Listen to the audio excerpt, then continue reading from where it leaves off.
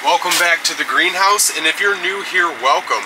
Every fall, as the sunlight hours and the energy coming from it wanes, and as the temperatures begin to drop, we had 31 degrees overnight, frost and ice outside. Every fall for the past years, we've been doing some cool experimenting with free heating and using compost to achieve heat into this greenhouse along with geothermal and many other free heating options. But today what we're doing is building our Jean Pain compost heater. Now if that sounds interesting please consider subscribing to the channel. I hear the tractor getting ready so we're going to be dumping all of this and I want to share some tips and tricks to getting that pile activated and how we're putting it all together. Now I just want to state that our channel can be kind of repetitious. We do a lot of the same stuff but we do experiment a lot and we modify things and we're always learning so hopefully everybody who goes and watches older videos can see the progression through the years from where we started to where we're at now and the experiments that we've achieved along the way. Now over the years we've started with maybe one or half ton piles and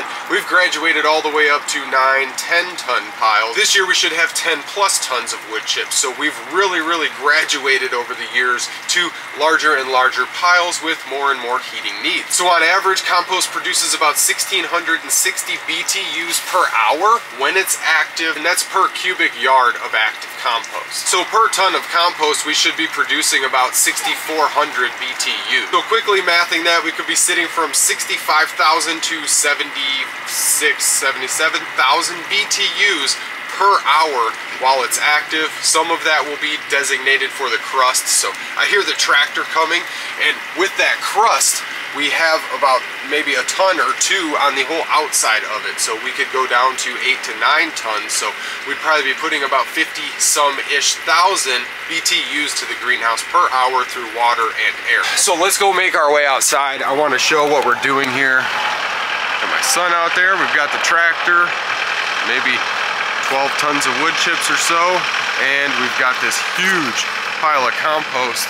I added a lot of green to the top, but there's a lot of nitrogen inside this. So the tractor's ready to dump behind me. I've got to pull this off of our compost. We've got a nice little fence, wire fence around it, same one we're going to use for our compost heater. Now that we've got our wire ring off, we've got this compost pile that is just one solid lump We've got a few cubic yards in that compost with lots of nitrogen in it. Heading over here, we're gonna be dumping these wood chips.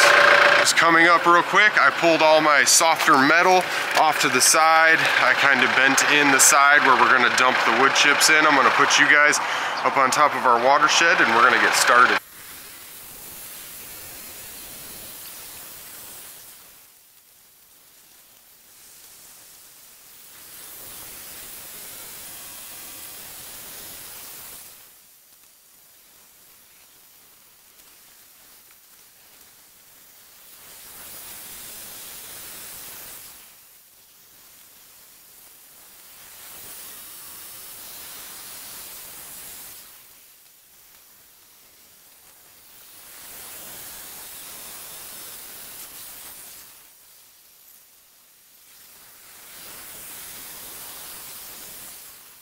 Now water is the most important factor to getting wood chips hot.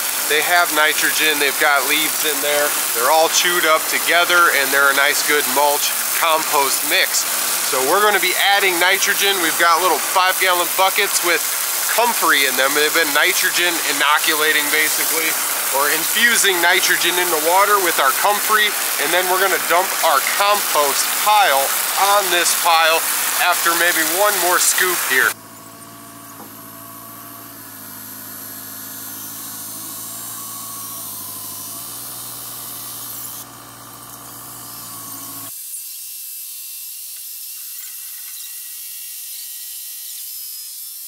So here we have dumped all of our compost, nitrogen rich compost, lots of green, lots of semi broken down, lots of good stuff that's going to jumpstart this pile.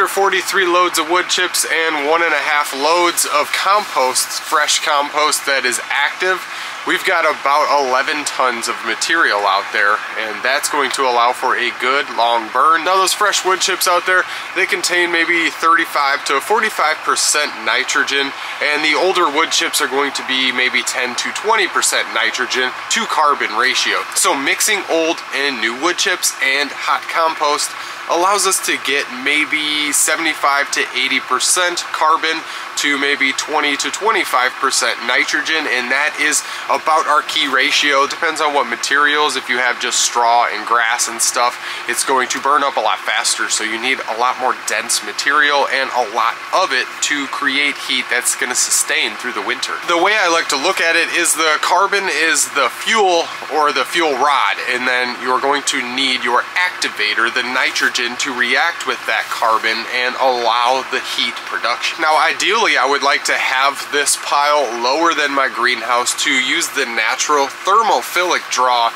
of heat and cold. It's going to rise and lower, so we can't really achieve that. We're on pretty flat ground, so I always try and bowl out the basin of our compost pile to get it down lower where all our heat transfer systems are, but we have to insulate them from the ground. And so we do the best we can with what we've got here, and we've got a lot of water still running in there. Now during this whole entire process, I had the water flowing, 100, maybe 200 gallons of water or whatever we put into these wood chips. The whole entire thing was coated, every layer was coated, and we just layered it up. All that hot compost that we dumped in the center of the pile is going to allow all of those good micro microbes and bacteria and fungi to be present currently so it's going to get a good jump start along with all of the nitrogen that we dump. And we used our compost comfrey tea to inoculate nitrogen into the water or infuse the nitrogen in the water. Without a bubbler we have our bubbler tied up on another system right now.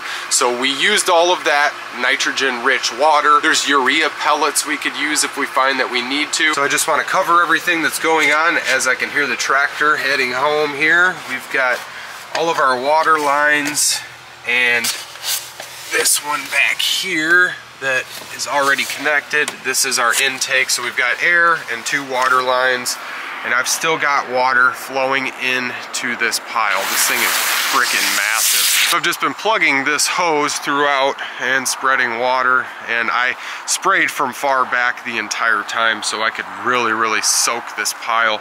It's hard to give a perspective of how big this thing is, but it is taller than the greenhouse. It's probably like nine foot tall here, so there she is. So this should hold enough heat throughout this winter to be able to suffice our heating needs in the greenhouse here. All we've got left to do now, now that we've created our pile, all the systems are in place, we're creating heat, that compost and the wood chips, everything was already pretty darn active, and we've got rain coming the next couple days, so I'm gonna leave this thing uncovered to soak up all that rainwater. Now all we gotta do is set up some fans and some water pumps. And then we can start actively heating this greenhouse with the compost and all of the air and water moving systems that we've put in place. So if anybody has any questions, this is the biggest pile. I mean, it's biggest pile by at least a ton or two. So if anybody has any questions on anything we showed today, there's going to be more coming on this process in this little mini series here. We can close the doors and then focus on all of the heat transfer and everything inside the greenhouse and getting situated and bunkered down for winter. I'd like to thank you guys for stopping by and checking out this video and seeing what we've got set up for this fall and this winter's heating. Now stay tuned as we get the air and water heating systems fully functional, get their operations going and power them up. And we've got to get our windmill set up. We've got a lot of stuff to do out here. So I'm going to get to work and I will see you guys next time.